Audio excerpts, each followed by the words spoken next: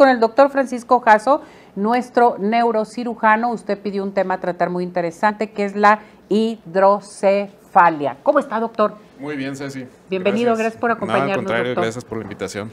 Pues vamos con este tema que en ocasiones eh, te dan el diagnóstico y dices, ¿qué es esto? ¿Por qué pasa? ¿Qué es la hidrocefalia? A ver, platíquenos. Bueno, eh, el, digamos, el cerebro tiene cavidades que están llenas de agua. Esas eh, cavidades eh, tienen que estarse drenando en forma continua. Cuando esas cavidades se tapan, se empiezan a llenar de agua y empieza a hacer presión dentro de lo que es el, el cráneo, ¿sí? Y eso es a lo que llamamos hidrocefalia.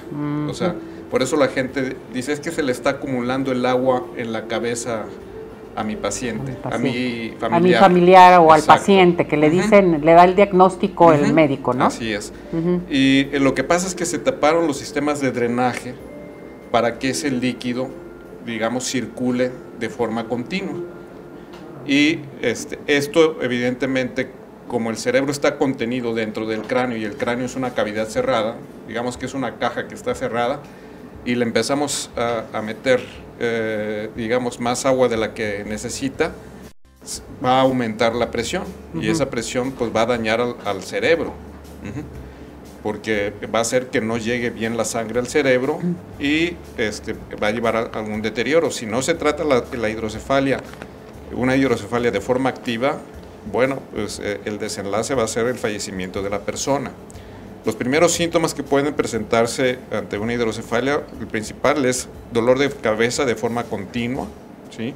que no cede a los analgésicos, que se acompaña posteriormente de náusea, vómito, ujú, un vómito que se le llama de forma explosiva, esto es sin eh, una causa aparente, Ujú. de repente nada más este, eh, eh, vomita la persona, ¿sí? Y este, es, después de eso pues va a llevar un deterioro del estado de la conciencia. ¿sí? Primero, eh, somnoliento, estuporoso, la persona ya deja de reconocer las cosas, ¿sí? hasta que pueda llegar al coma, y si no es tratada, pues puede llegar este, a padecer, la, padecer eh, morir la persona. A ¿sí? ver, esto te llega la hidrocefalia, te llega a cualquier eh, a, este, edad, nace con él el producto, o sea, ¿qué es lo que pasa? Hay ¿Cómo muchas, esto? hay muchas causas de la hidrocefalia. La más común, Ajá. que era antes, afortunadamente ya este, eh, ha disminuido de forma significativa, era la hidrocefalia secundaria a procesos infecciosos por neurocisticercosis. Mm, sí, sí, sí, recuerdo. Ya afortunadamente cada vez son menos los casos que tenemos en nuestro país, pero hace unos 15, 20 años era eh, pues, eh, endémico en nuestro Por los país. cisticercos. Por los cisticercos. Pero las medidas de higiene que se han llevado a cabo y ya la- las medidas este, de cuidados eh, en el ganado este, En la carne de puerco, que la gente decía, no, no hay que comer carne de puerco. y sobre en fin. todo el- el- las aguas para eh, el, El riego. rie- riego de legumbres, este, pues ha ya ha disminuido, eso de forma significativa. Y, pero todavía persisten algunos otros problemas. Eh, eh, pueden nacer con, con hidrocefalia el bebé eh, y en ellos se manifiesta por el crecimiento de la cabeza. Ajá. Ah, Si la hidrocefalia se presenta antes de los dos años, la cabecita va a crecer en forma compensatoria. Bien. Sí, después de los dos años ya no, ya no, ya no crece la cabecita, sino que aumenta la presión dentro del cráneo. Eh, hay que detectarlo de forma oportuna para dar un tratamiento este, lo mejor posible.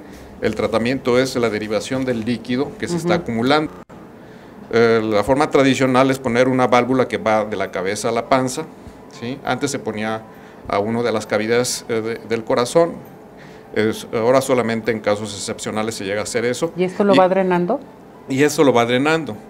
Y o también se pueden hacer derivaciones internas, ya sin dejar un sistema derivativo, lo que se llaman fenestraciones eh, y comunicaciones del sistema, digamos, de las, de las cisternas del cerebro a, eh, el- al espacio pericerebral, ¿sí? Que se llama eh, espacio subaracnoideo. Y esto se hace a través de cirugía mínimamente invasiva con endoscopio y no se requiere dejar un sistema derivativo. Sí, solamente en casos eh, eh, seleccionados. sobre todo en los casos que son eh, por causas de tipo obstructiva. ¿Cuáles son las causas de tipo obstructiva? Digamos que un tumor que está creciendo y obstruye el paso del líquido. Ajá. Entonces, eh, eh, ese paso de líquido donde está la obstrucción, pues se va a, acumular ese líquido, digamos, como una represa. Entonces, lo que se hace es un cortocircuito para que siga pasando el líquido, pero drenándose en el mismo cerebro. O sea, hay tratamiento para la hidrocefalia, todo esto tiene que ser a tiempo, que es, bien importante, doctor, y puedes seguir tu vida normal. En la mayoría de los casos, así es. Perfecto, esto es muy importante conocerlo y que esto lo hace un médico. El, neurocirujano. Neurocirujano. El tratamiento de la hidrocefalia sí tiene que ser a través de un neurocirujano. Correcto. Doctor, su número telefónico si tenemos alguna duda. 33 96 88 03 y el directo es el 33 14 10 61 93. Gracias, doctor, que le vaya muy bien. No, al contrario, Felices gracias. Fiestas, feliz año, doctor. Gracias.